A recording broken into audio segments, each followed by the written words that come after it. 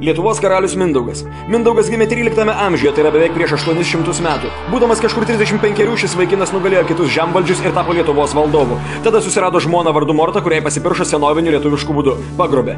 Jo paso nuotrauka nėra išlikusi, todėl paveiksluose Mindaugas vaizduojamas įvairiai, bet kuris iš šių žmonių galėjo būti Mindaugas. Sulaukęs vidurinio amžiaus krizės Mindaugas apsikrikštijo, susirado naujų draugų kryžiuočių, davė jiems žemės, pasistatė katedrą ir greičiausiai joje Liepos 6 buvo karūnuotas. Tada atsimetė nuo krikščionybės, išvijo iš Lietuvos kryžiuočius, kuriuos pats buvo įleidęs ir toliau karaliavo vienas. Ne, jis nebuvo vienintelis Lietuvos karalius, galbūt tik vienintelis matė reikalą suderinti savo karūnos klausimą su bažnyčia.